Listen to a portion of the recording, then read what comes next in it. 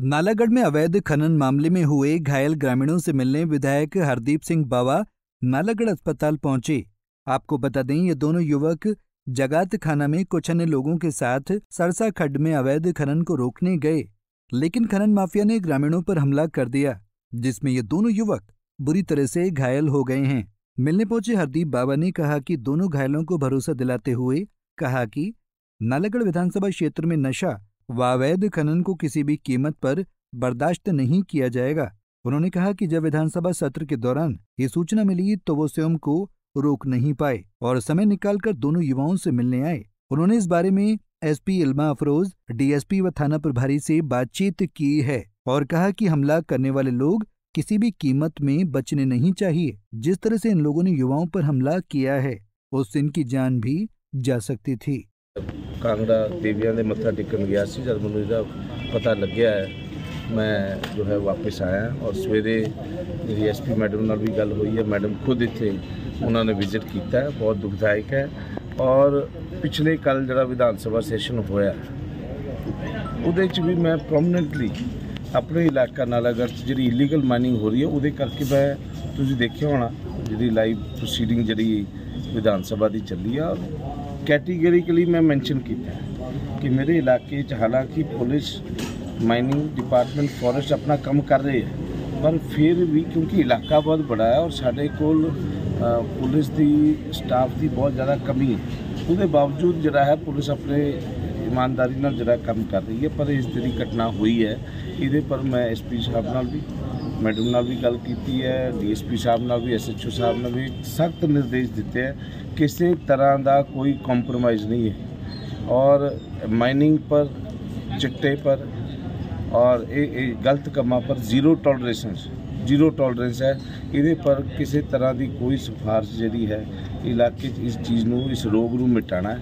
ਇਹਦੇ ਲਈ ਮੇਰੀ, ਇਲਾਕੇ ਦੇ ਲੋਕਾਂ ਨੂੰ ਵੀ ਮੇਰੀ ਬੇਨਤੀ ਹੈ।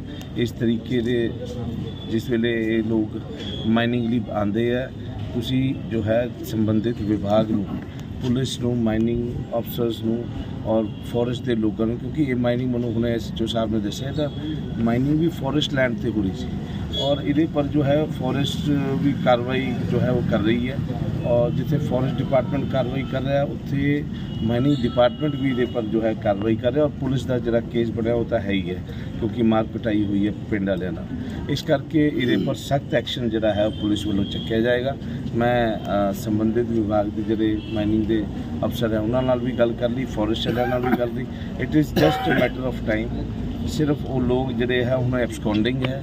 ਉਹਨਾਂ ਨੂੰ ਪਤਾ ਵੀ ਪਰਚਾ ਦਰਜ ਹੋ ਗਿਆ ਔਰ ਉਹ ਇਹ ਵੀ ਸ਼ਾਇਦ ਕੋਸ਼ਿਸ਼ ਕਰ ਰਹੇ ਹੋਣਗੇ ਵੀ ਅਸੀਂ ਐਂਟੀਸਪੈਟਰੀ ਲਵਾਂਗੇ, ਪਰ ਮੈਂ ਤੁਹਾਨੂੰ ਵਿਸ਼ਵਾਸ ਦਿਵਾਉਣਾ ਕਿ ਕਿਸੇ ਤਰ੍ਹਾਂ ਦਾ ਵੀ ਕੋਈ ਕੰਪਰੋਮਾਈਜ਼ ਕਿਸੇ ਤਰ੍ਹਾਂ ਦਾ ਵੀ ਕੋਈ ਜਿਹੜਾ ਹੈ ਸਮਝੌਤਾ ਜਿਹੜਾ ਇਸ ਤਰੀਕੇ ਦੇ ਲੋਕਾਂ ਨਾਲ ਨਹੀਂ ਹੋਣਾ।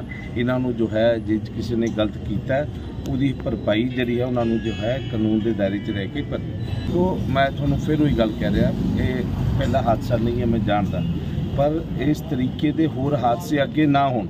ਉਹਦੇ ਲਈ ਜੋ ਕੜੇ ਸਟੈਪ ਆਪਾਂ ਚੱਕ ਸਕਦੇ ਹਾਂ ਉਹਦਾ ਪੂਰਾ ਉਹਦੀ ਜੋ ਹੈ ਉਹਦੀ ਉਹਦੀ ਪੈਰਵੀ ਜਿਹੜੀ ਹੈ ਉਹ ਮੈਂ ਖੁਦ ਹੋ ਕੇ ਅੱਗੇ ਜਿਹੜਾ ਹੈ ਪੁਲਿਸ ਨੂੰ ਕਹਿ ਕੇ ਕਰਵਾ ਰਿਹਾ ਔਰ ਮੈਂ ਤੁਹਾਨੂੰ ਵਿਸ਼ਵਾਸ ਦਿਵਾਉਣਾ ਕਿ ਇਹ ਜਿਹੜਾ ਪਾਰਟਿਕੂਲਰ ਕੇਸ ਹੋਇਆ, ਇਹ ਇਹ 'ਚ ਕੋਈ ਛੋਟਾ ਮਸਲਾ ਨਹੀਂ ਹੈ। ਕਿਸੇ ਬੱਚੇ ਦੀ ਜਾਨ ਵੀ ਜਾ ਸਕਦੀ ਸੀ। ਔਰ ਜੇ ਪਿੰਡ ਵਾਲੇ ਲੋਕਾਂ ਨੇ ਜਾ ਕੇ ਮਾਈਨਿੰਗ ਇਲੀਗਲ ਮਾਈਨਿੰਗ ਕਰਨ ਲਈ ਲੋਕਾਂ ਨੂੰ ਰੋਕਿਆ ਔਰ ਉਹਨਾਂ ਲੋਕਾਂ ਨੇ ਉਹਦੇ ਬਦਲੇ ਜਿਹੜਾ ਹੈ ਬਦਮਾਸ਼ ਬੁਲਾ ਕੇ ਮਾਰ ਕਟਾਈ ਕੀਤੀ ਹੈ। ਇਹਦੀ ਭਰਪਾਈ ਜਿਹੜੀ ਉਹਨਾਂ ਨੂੰ ਕਰਨੀ ਪੈਣੀ ਔਰ ਇਹ ਇਹ ਜੋ ਹੈ ਸੌਖੇ ਛੁੱਟਣ ਵਾਲੇ ਨਹੀਂ ਮੇਰੀ ਗੱਲ ਕੋਈ ਵੀ ਗਲਤ ਕੰਮ ਕਰਨ ਵਾਲਾ ਬੰਦਾ ਨਾ ਉਹ ਸਰਕਾਰ ਦਾ ਨਾ ਉਹ ਮੇਰਾ ਹੈ। ਮੈਂ ਤੁਹਾਨੂੰ ਫਿਰ ਕਹਿ ਰਿਹਾ, ਮੈਂ ਇੱਥੇ ਸਾਰੇ ਕੰਮ ਛੱਡ ਕੇ ਪਹੁੰਚਿਆ। ਮਾਈਨਿੰਗ ਪਰ ਇਲੀਗਲ ਮਾਈਨਿੰਗ ਪਰ ਔਰ ਚਿੱਟੇ ਪਰ ਮੈਂ ਜ਼ੀਰੋ ਟੋਲਰੈਂਸ ਮੈਂ ਇਸ ਚੀਜ਼ ਪਰ ਕਿਸੇ ਤਰ੍ਹਾਂ ਦਾ ਕੋਈ ਕੰਪਰੋਮਾਈਜ਼ ਨਹੀਂ, ਕਿਸੇ ਤਰ੍ਹਾਂ ਦੀ ਕੋਈ ਸਿਫਾਰਸ਼ ਨਹੀਂ। ਇਸ ਚੀਜ਼ ਪਰ ਮੈਨੂੰ, ਮੇਰੀ ਬੇਨਤੀ ਹੈ ਇਲਾਕੇ ਦੇ ਲੋਕਾਂ ਨੂੰ, ਮੈਂ ਧੰਨਵਾਦ ਕਰਨਾ ਚਾਹੁੰਦਾ ਸਥਾਨੀ ਪੁਲਿਸ ਦਾ ਜਿਹਨੇ ਲਗਾਤਾਰ ਜੋ ਹੈ ਚਿੱਟੇ ਦੀ ਰੋਕਥਾਮ ਲਈ ਔਰ ਇਲੀਗਲ ਮਾਈਨਿੰਗ ਦੀ ਰੋਕਥਾਮ ਲਈ ਸਰਕਾਰ ਦੇ ਆਦੇਸ਼ ਦੀ ਪਾਲਣਾ ਕਰ ਰਹੀ ਹੈ। ਔਰ ਆਪਾਂ ਇਸ ਚੀਜ਼ ਨੂੰ ਰੋਕਣਾ, ਇਹਦੇ ਪਬਲਿਕ ਦੇ ਸਹਿਯੋਗ ਨਾਲ ਇਹ ਕੰਮ ਹੋਣੇ ਆ। ਲੋਕ ਬਹੁਤ ਕੁਝ ਕਹਿੰਦੇ ਆ। ਇਸ ਵੇਲੇ ਵਿਰੋਧੀਆਂ ਕੋਲ ਹੋਰ ਕੋਈ ਚਾਰਾ ਨਹੀਂ। ਇੱਥੇ ਜਿਹੜੇ ਵਿਰੋਧੀ ਹੈ, ਉਹ ਤਾਂ ਇੱਕ ਹੀ ਚੀਜ਼ ਹੈ। ਜੇ ਤਾਂ ਕੁਝ ਗਲਤ ਹੋ ਰਿਹਾ, ਤਾਂ ਉਹ ਸਰਕਾਰ ਪਰ ਮੜ ਦਿੰਦੇ, ਮੇਰੇ ਪਰ ਮੜ ਦਿੰਦੇ। ਜੇ ਕੋਈ ਠੀਕ ਹੋ ਰਿਹਾ, ਤਾਂ ਉਹ ਕਹਿ ਦਿੰਦੇ, ਪਿਛਲੀ ਸਰਕਾਰ ਦੇ ਕਰਕੇ ਠੀਕ ਹੋ ਰਿਹਾ। ਇਸ ਲਈ ਕਹਿੰਦੇ ਹਸਾਏ ਦਾ ਨਾਂ ਨਹੀਂ ਰਵਾਏ ਦਾ ਨਾਂ ਹੋ ਜਾਂਦਾ। ਜੋ ਮੌਜੂਦਾ ਸਰਕਾਰ 'ਚ ਹੈ, ਇਹ ਲੋਕ ਜਿਹੜੇ ਹੈ ਇਲਾਕੇ ਦੀ ਜਨਤਾ ਨੇ ਬੇਲੇ ਕਰਕੇ ਬਿਠਾਤੇ ਵੀ ਕਰੇ ਉਹ ਸਿਵਾਏ ਬਾਵੇ ਹਰਦੀਪ ਸਿੰਘ ਦੇ ਉੱਪਰ ਤੌਮਤ ਲਹਾਨ ਤੋਂ ਇਲਾਵਾ ਉਹਨਾਂ ਕੋਲ ਹੋਰ ਕੋਈ ਕੰਮ ਰਿਹਾ ਹੀ ਨਹੀਂ। ਇਸ ਕਰਕੇ ਇਹ ਮੇਰਾ ਸਪਸ਼ਟ ਸੰਦੇਸ਼ ਜਿਹੜਾ ਉਹ ਇਲਾਕੇ 'ਚ ਹੀ ਹੈ ਆਪਣੇ ਲੋਕਾਂ ਨੂੰ ਕਿ ਇਹਦੇ ਪਰ ਜ਼ੀਰੋ ਟੋਲਰੈਂਸ ਹੈ। ਸਰਕਾਰ ਬਹੁਤ ਸਖਤ ਹੈ ਇਸ ਮਾਮਲੇ ਪਰ ਔਰ ਇਹਦੇ ਪਰ ਜੋ ਉਚਿਤ ਕਾਰਵਾਈ ਬਣਦੀ ਹੈ, ਜੋ ਇਹਦੇ ਪਰ ਪੁਲਿਸ ਵੱਲੋਂ ਮਾਈਨਿੰਗ ਡਿਪਾਰਟਮੈਂਟ ਵੱਲੋਂ ਔਰ ਫੋਰੈਸਟ ਵੱਲੋਂ, ਉਹ ਕਾਰਵਾਈ ਜਿਹੜੀ ਹੈ ਤੁਹਾਨੂੰ ਦੇਖਣ ਨੂੰ ਮਿਲੇਗੀ, ਤੁਹਾਡੇ ਸਾਹਮਣੇ ਆਈ bureau report, Punjab Kesari TV. हमसे जुड़े रहने के लिए हमारे YouTube चैनल को सब्सक्राइब करें और नई वीडियो की नोटिफिकेशन के लिए बेल आइकॉन को दबाएँ। अगर आप ये वीडियो Facebook पर देख रहे हैं तो लाइक ज़रूर करें और ज़्यादा से ज़्यादा शेयर करें इसी तरह के और भी अपडेट्स के लिए फॉलो करें हमारा Instagram पेज हिमाचल